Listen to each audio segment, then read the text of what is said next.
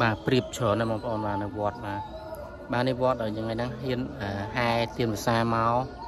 ហែទៀនភាសាមកវត្តហ្នឹងឥឡូវនេះបាទលោកបាទពងរវល់អញ្ចឹងយើងអត់ទាន់បានចូលទៅក្នុងសាលាទទួលតយទានទេហើយដោយសារនេះឃើញប្រៀបប្រៀបច្រើនមែនតើហើយប្រៀបនេះអត់សូវខ្លាចមនុស្សទេបាទច្រើនមែនតើ